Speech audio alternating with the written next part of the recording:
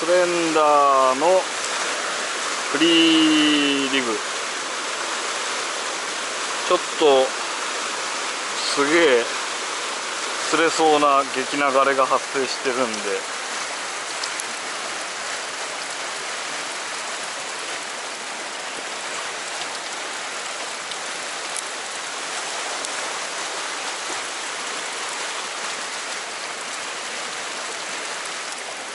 対いると思うんだよな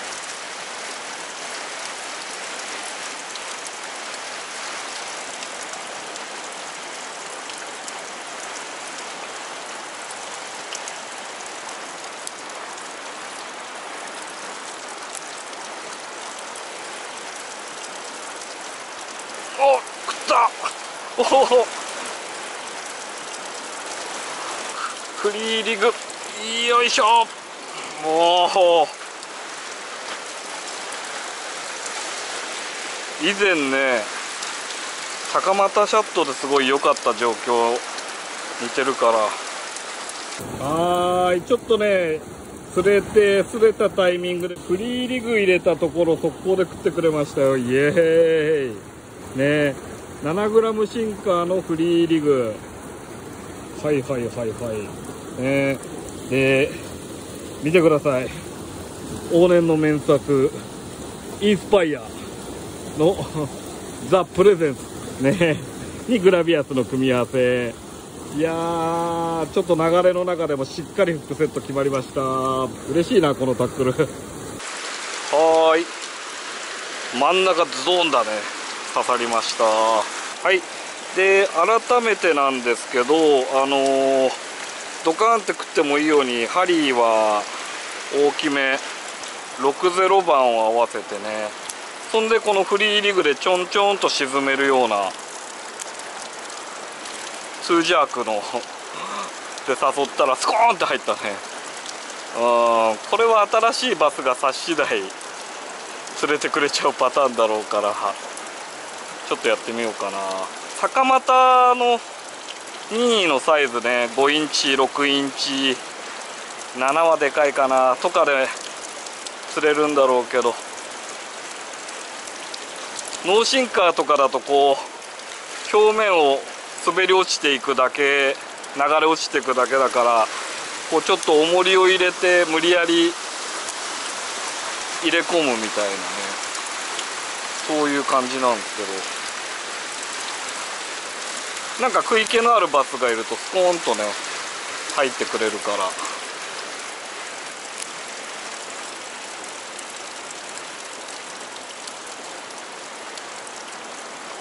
ちょっと表層はしばらく釣ってなんか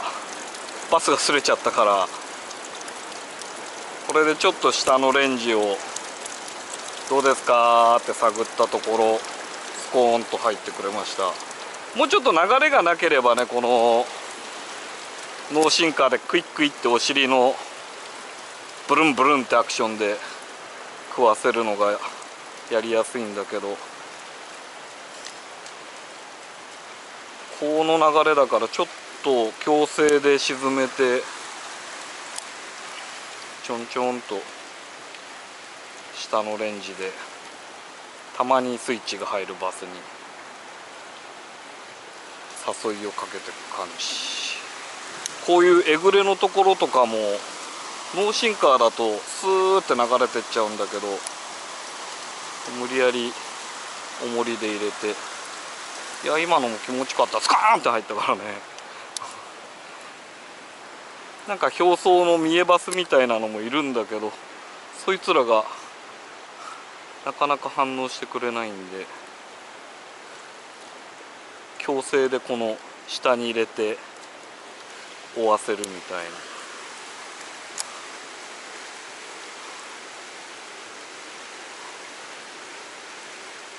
お今スコーンと一発目で決まってくれたけど。おっつおつあれは濃いですな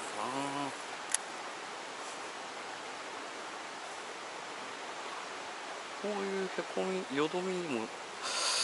いるんだけど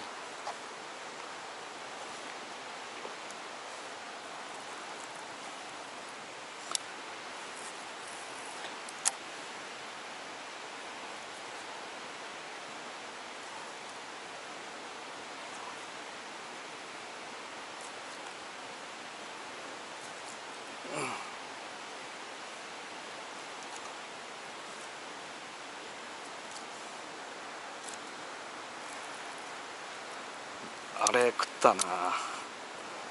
ちょっとバスのサイズ。まあでもたまにでっかいというかなんか見栄えの。たまになんかいいサイズもいそうな。の、うん、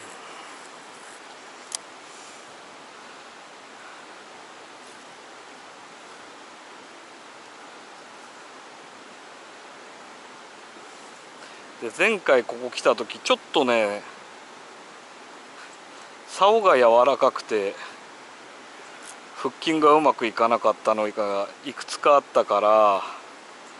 これあの往年の名作インスパイア、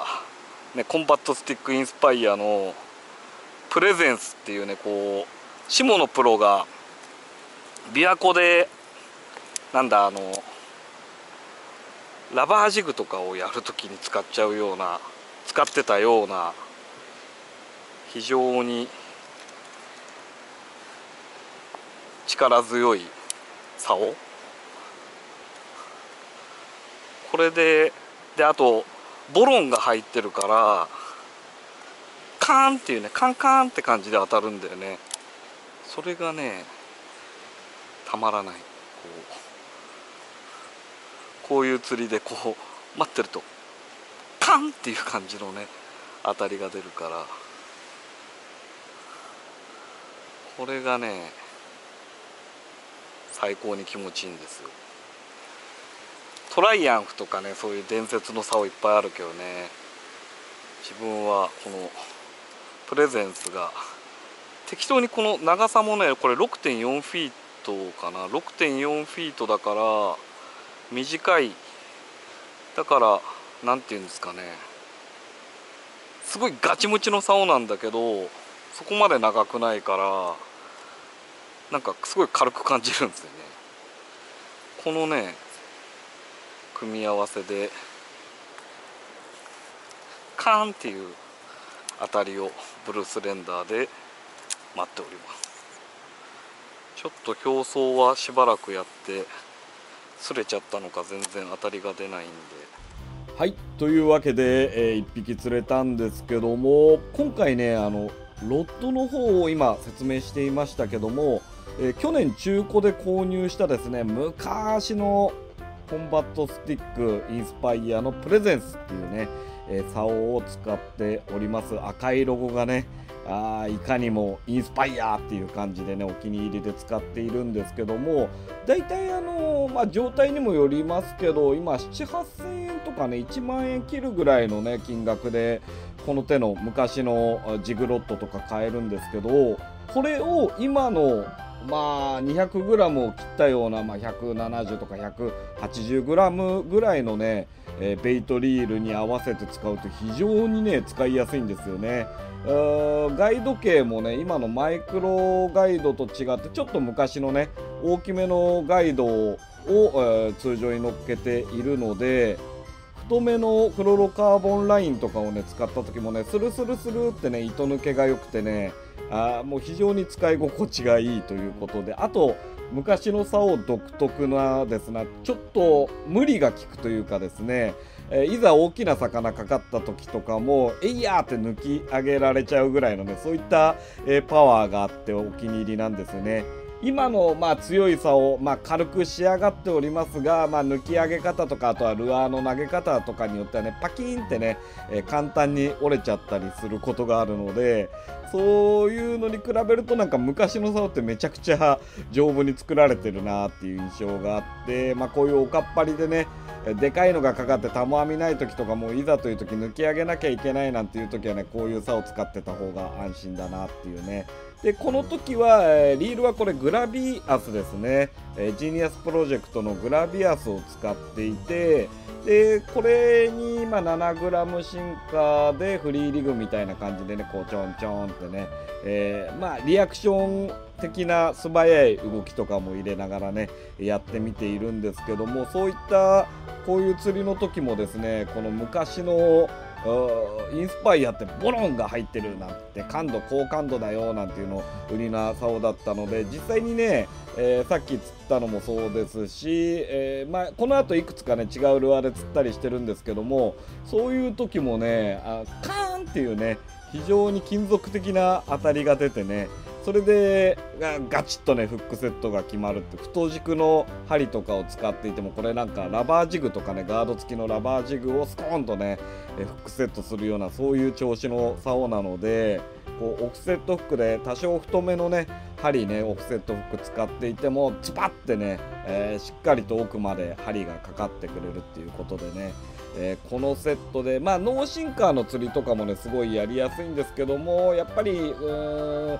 総重量でこう2分の1オンスより重めのリグを使う時とかにね、えー、すごい使いやすくてあと短いからこれそのまんまねビッグベイトとかもね結構投げやすいんですよね。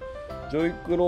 178とかああいういわゆる普通のビッグベイトっていうねそういったえー、当時はなかった釣りですけど今ねこの竿で改めてやるとね非常に投げやすかったりするのでブルーシューターぐらいまでは投げてるかな。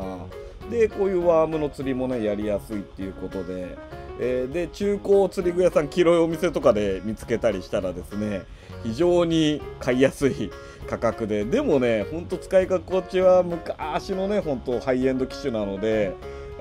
今使っても非常に使いやすいのでなんかどうなんだろうなんて思ってる人ね是非ね1本使ってみて、うん、まあおすすめはそうですね。これプレゼンス大好きですけど先ほども言いましたがトライアンフとかトライアンフエアリーとかね。あとはまガゼルとかいろんな昔の名座をね名鑑ありますので、えー、なんか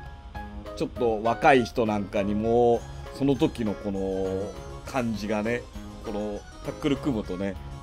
じわーっとね伝わってくると思うのでぜひチャレンジしてみてもらいたいななんて思うんですけどもまあこの他にも自分はあのデストロイヤーの古いやつとかもね結構好きだったりしてそういうのがね本当もう何十年か経つんですかね出てからね、うん、今買おうとするとねすごい買いやすいのでもちろんね最新のタックルもねどんどん使っていくんですけどもこういうね、えー、昔のスペシャルな道具ねうん、リールはちょっと昔のだとあやっぱちょっと使いづらいなって感じることあるんですけども竿に関してはねほんと時代が経ってもね全然使い心地とかねうん変わらないとか、まあ、やりやすいのでまあそれにはさっき言ったように今時のリールをつけて昔の